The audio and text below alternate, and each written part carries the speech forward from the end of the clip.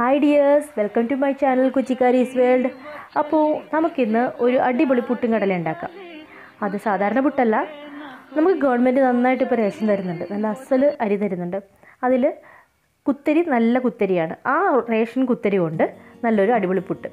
അപ്പോൾ ഞാൻ എടുത്തിരിക്കുന്ന രണ്ട് ഗ്ലാസ് അരി നാല് മണിക്കൂറോളം വെള്ളത്തിൽ കുതിർത്തിട്ട് ഒരു ഇതുപോലത്തെ ഒരു പാത്രത്തിൽ ഊറ്റി വെച്ചിട്ടുണ്ട്. ജസ്റ്റ് ഊറ്റി ഒരു അഞ്ച് മിനിറ്റ് ഊറ്റി വെച്ചാൽ മതി. വെള്ളം അതിൽ നിന്ന് അങ്ങ് ഊറ് പൊക്കോളും. വേറെ ഒന്നും ചെയ്യേണ്ട. അത് നേരെ എടുത്ത് ഞാൻ പൊടിക്കുവാണ്.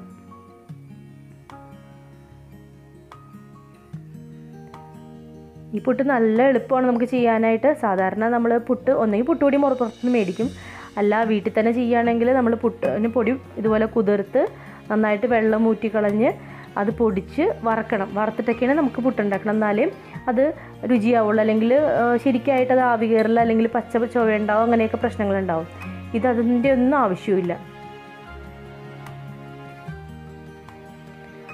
പുട്ട് ഏകദേശം പൊടിഞ്ഞ് കുറച്ചുകൂടി പൊടിയാനുണ്ട്. തരി ചെറുതായിട്ട് അരിയുടെ തരിയുണ്ട് അതിൽ ഒന്നുകൂടി നന്നായിട്ട് പൊടിക്കണം. വളരെ നന്നായിട്ട് തന്നെ സ്മൂത്തായിട്ട് പൊടിഞ്ഞു വരും.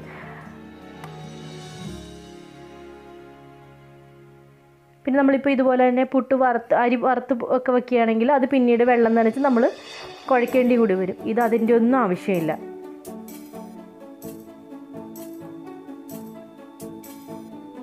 ഏകദേശമായിട്ടുണ്ട്. ഒരു പ്രാവശ്യം കൂടി ഒന്ന് പൊടിച്ചെടുക്കാം. ഒരു അഞ്ച് മിനിറ്റ് അഞ്ച് മിനിറ്റ് വേണ്ട നമുക്ക് അങ്ങ് പൊടിച്ചെടുക്കണേന്. അപ്പോൾ അതേ അരി നന്നായിട്ട് പൊടിഞ്ഞ് നല്ല സോഫ്റ്റ് ആയിട്ടുണ്ട്. നമ്മൾ കുറേ നേരം പടുവിട്ട് ഇത് കുഴച്ചൊക്കെ വയ്ക്കണം ഏത് പരുവം ആവോ? അതുപോലെ ഇപ്പോൾ ഒന്നും ചെയ്യാണ്ട് ജസ്റ്റ് പൊടിക്കുമ്പോൾ തന്നെ അതേ നനവ് നമുക്ക് ആ അരിപ്പൊടിയിൽ കിട്ടിയിട്ടുണ്ട്.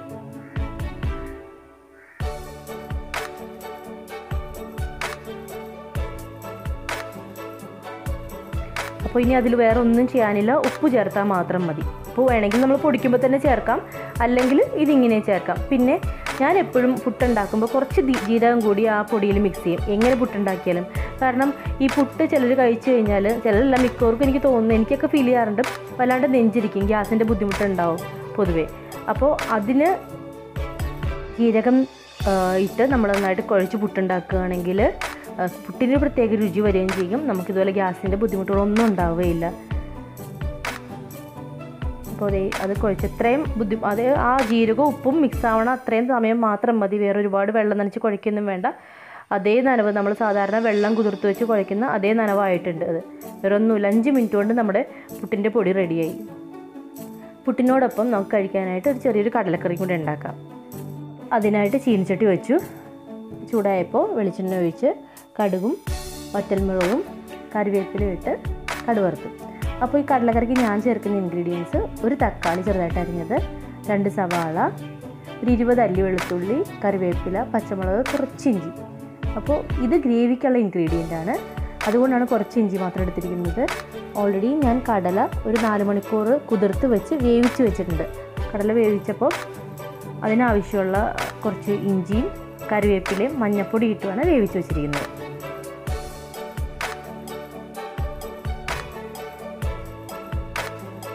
ഈ കടുവറുത്ത് അത് ചൂടായി അതിലേക്ക് നമുക്ക് റെഡിയാക്കി വെച്ചിരിക്കുന്ന ഇൻഗ്രീഡിയൻസ് കൂടി ചേർക്കാം. സവാള അതുപോലെ തന്നെ പച്ചമുളക് ആ അരിഞ്ഞ് വെച്ചേക്കുന്ന ഇഞ്ചി.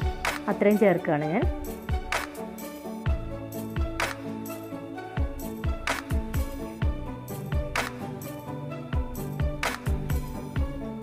നന്നായിട്ടൊന്ന് വഴറ്റിയെടുക്കണം. അപ്പോൾ സവാള പെട്ടെന്ന് വഴണ്ടി വരാനായിട്ട് സോഫ്റ്റ് ആവാനായിട്ട് ഉപ്പ് ചേർത്ത് വഴറ്റുകയാണെങ്കിൽ പെട്ടെന്ന് വഴണ്ടി വരും. അതുകൊണ്ട് ഉപ്പും കൂടി ചേർത്തിട്ട് നന്നായിട്ടൊന്ന് വഴറ്റിയെടുക്കുകയാണ് ഞാൻ.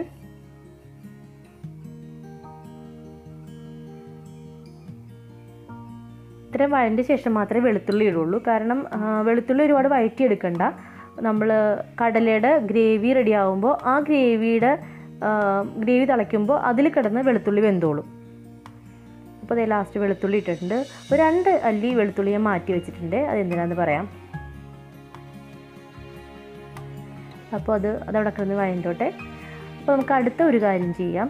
ടേസ്റ്റ് മേക്കറായിട്ട് നമ്മൾ ഈ കടലക്കറിക്ക് ചേർക്കാൻ പോകുന്ന ഒരു സംഭവം വെച്ചാൽ നമ്മൾ അരിഞ്ഞിച്ചിരിക്കുന്ന തക്കാളിയില്ലേ ആ തക്കാളിയും ആ രണ്ട് അല്ലി വെളുത്തുള്ളിയും കൂടി നന്നായിട്ട് നരച്ചെടുക്കാൻ പോവാണ്.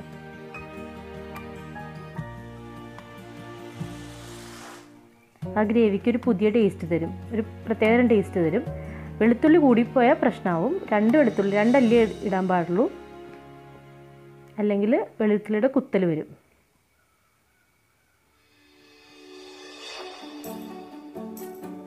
ഞാനിപ്പോൾ ഇന്ന് ചെയ്യാൻ പോകുന്ന കടലക്കറി കുറച്ച് തിക്ക് ഗ്രേവി ആയിട്ടാണ്. ഗ്രേവി കൂടുതൽ വേണമെന്നുണ്ടെങ്കിൽ ഒരു തക്കാളി കൂടി നിങ്ങൾക്ക് ഇതുപോലെ തന്നെ രണ്ട് തക്കാളി അരിഞ്ഞ് ഒരു മൂന്നല്ലി വെളുത്തുള്ളിയായിട്ട് ചതച്ചെടുക്കുക കേട്ടോ. അരച്ചെടുക്കുക അപ്പോൾ അത് നന്നായിട്ട് അരഞ്ഞിട്ടുണ്ട്. വെളുത്തുള്ളിയൊക്കെ അരഞ്ഞ് ചേർന്നിട്ടുണ്ട്. നല്ലൊരു കുഴമ്പ് രൂപത്തിലുള്ള ഗ്രേവി ആയിട്ടുണ്ട്.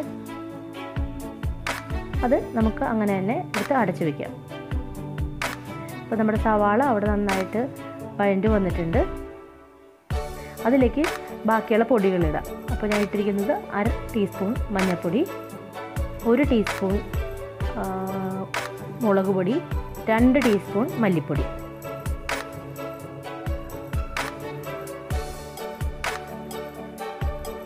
പിന്നെ മസാലപ്പൊടി ചേർക്കുന്നത് ഒരു ഒന്നര ടേബിൾ സ്പൂൺ മസാലപ്പൊടി ചേർക്കുന്നുണ്ട്. നന്നായിട്ട് വഴറ്റണം. വഴറ്റിയിട്ട് പൊടികളുടെ എല്ലാം പച്ചമണം മാറുന്നവരെ വഴറ്റണം. എന്നിട്ട് തീ കുറച്ച് വെച്ച് കഴിഞ്ഞാൽ കുറച്ച് നേരം വെയിറ്റ് ചെയ്ത് കഴിഞ്ഞാൽ എണ്ണ ശരിക്കും തെളിഞ്ഞു വരും. അതാണ് ആ പൊടികളുടെ പച്ചമണം മാറിയുള്ള ലക്ഷണം. അത് ഓക്കെ ആയിട്ടുണ്ട്. എണ്ണ തെളിഞ്ഞിട്ടുണ്ട്. അതിലേക്ക് അരച്ച് വെച്ചിരിക്കുന്ന ആ തക്കാളിയുടെയും വെളുത്തുള്ളിയുടെയും ഗ്രേവി അങ്ങോട്ട് ഒഴിക്കുകയാണ്. അതും ഈ ഗ്രേവി സവാളയോടൊപ്പം നന്നായിട്ട് വഴറ്റി അതിന്റെ പച്ചമണം കൂടി മാറണം. അത് നന്നായിട്ട് മാറണം അല്ലെങ്കിൽ ടേസ്റ്റ് മോശമാവും.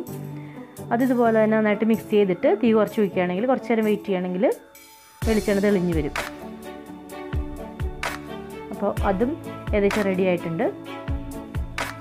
അപ്പോൾ നമുക്ക് ഇനി കടല ചേർക്കാം. കടല ഓൾറെഡി ഞാൻ വേവിച്ച് വെച്ചിട്ടുണ്ട്. നേരത്തെ പറഞ്ഞ പോലെ കടലയിൽ കുറച്ച് ഇഞ്ചി കറിവേപ്പില മഞ്ഞൾപ്പൊടി ഇത്രയായിട്ടാണ് വേവിച്ചിരിക്കുന്നത്. അതും കൂടി ഇതേ അതിലേക്ക് ചേർക്കുകയാണ്.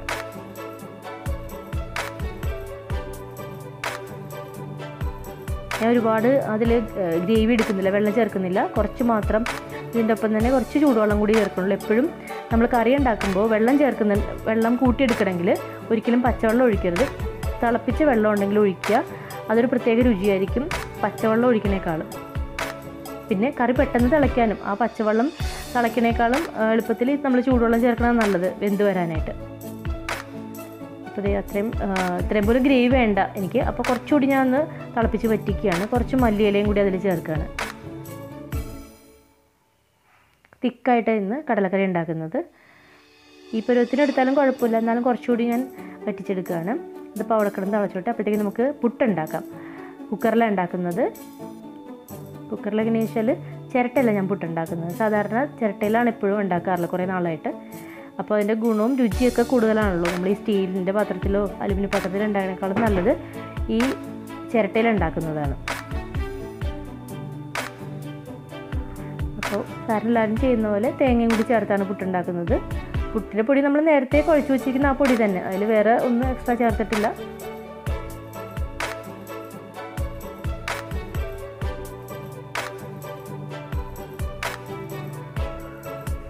രണ്ട് ലെയർ തേങ്ങ ഇടുന്നുണ്ട് കേട്ടോ രുചി കൂട്ടാനായിട്ടാണ് വെച്ചിട്ട് അപ്പോൾ കടലക്കറി അത്യാവശ്യം വറ്റിക്കഴിഞ്ഞു. ആവശ്യത്തിനുള്ള ഞങ്ങൾക്ക് ആവശ്യമുള്ള ഗ്രേവി ആയിക്കഴിഞ്ഞു.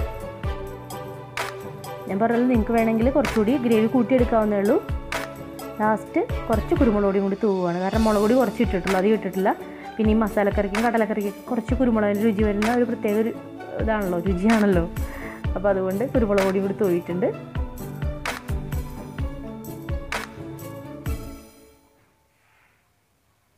ഇതേ ആവി വന്നിട്ടുണ്ട് കുക്കറിൽ അതിലേക്ക് ഞാൻ പുട്ട് വയ്ക്കാൻ പോവുകയാണ് വേവിക്കാനായിട്ട്. അടച്ചു വെച്ചു. അപ്പോൾ അതായിക്കോളൂ. ഇപ്പോൾ ഗ്രേവി ഞാൻ വേറൊരു പാത്രത്തിലേക്ക് മാറ്റുകയാണ് കടലയുടെ ഗ്രേവി.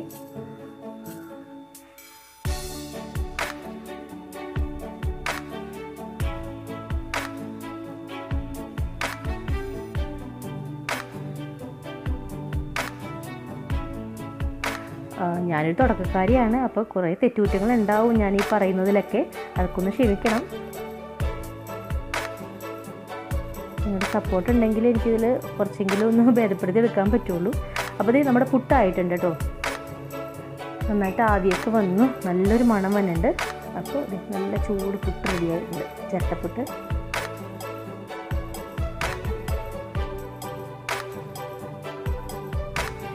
പുട്ടും കടലയും റെഡിയായി അതിന്റെ ഒപ്പം കുറച്ച് പപ്പടം കൂടി ഇല്ലെങ്കിൽ ഒരു സുഖമില്ലല്ലോ.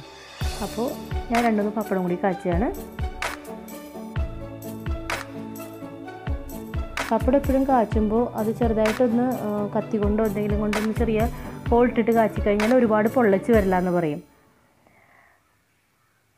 അപ്പോൾ പപ്പടത്തിന്റെ എണ്ണ ചൂടാവുന്ന സമയം കൊണ്ട് ഒരു ട്രിപ്പ് ഇട്ടുകൂടെ വയ്ക്കുകയാണ്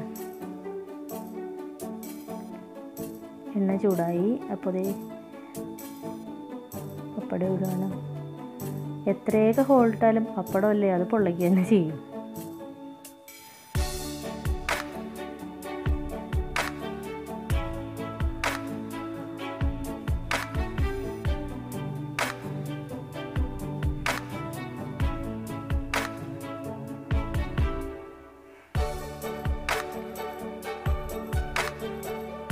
റെഡിയായിട്ടുണ്ട് പപ്പടവും പപ്പടം റെഡിയായി അപ്പോൾ നമുക്കതിന് ഒരു പ്ലേറ്റിലേക്ക് വിളമ്പാം. അപ്പോൾ ഇതിനിടയ്ക്കൊരു കാര്യം എന്റെ ഈ ചാനൽ നിങ്ങളെല്ലാവരും സബ്സ്ക്രൈബ് ചെയ്യണം ഷെയർ ചെയ്യണം ഫ്രണ്ട്സിനൊക്കെ ഷെയർ ചെയ്ത് കൊടുക്കണം ലൈക്ക് ചെയ്യുകയും ചെയ്യണം കേട്ടോ. പുട്ടും നല്ലൊരു കടലക്കറിയും പപ്പടം റെഡിയായി എല്ലാവരും ട്രൈ ചെയ്യണം. ഭയങ്കര സിമ്പിളായിട്ടുള്ള പുട്ടാണിത്. ആകെ നാല് മണിക്കൂർ നമ്മൾ ആ കുതിർത്ത് വയ്ക്കണ അരി കുതിർത്ത് വയ്ക്കണ താമസം മാത്രമേ ഉള്ളൂ. അപ്പോൾ ബൈ. നാളെ വീണ്ടും കാണാം. പുതിയൊരു റെസിപ്പിയായിട്ട്.